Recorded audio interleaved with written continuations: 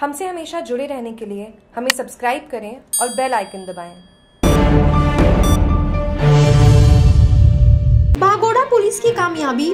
फर्जी शादी गिरोह का मुख्य दलाल गुजरात से गिरफ़्तार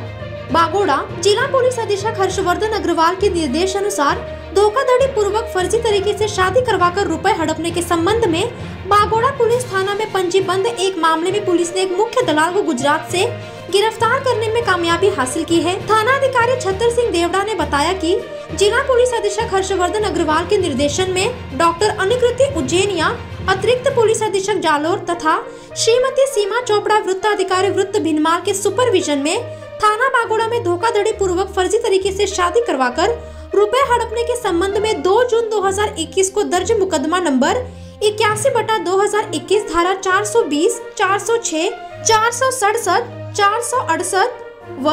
120वीं भारतीय दंड संहिता में मुख्य आरोपी दलाल को गिरफ़्तार करने हेतु छतर सिंह निरीक्षक थाना अधिकारी पुलिस थाना बागोड़ा के नेतृत्व में गठित टीम द्वारा 31 जनवरी 2021 को अभियुक्त अंदू जी उर्फ़ इंदू भाई पुत्र बच्चू जी जाति दरबार ठाकुर, उम्र 42 साल, पेशा ड्राइवर, निवासी वामिया पुलिस थाना सरस्वती तहसील, जिला पाटन हाल देवली तहसील, सिद्धपुर, जिला पाटन, गुजरात को दस्तयाब कर बाद में अनुसंधान गिरफ़्तार किया गया है।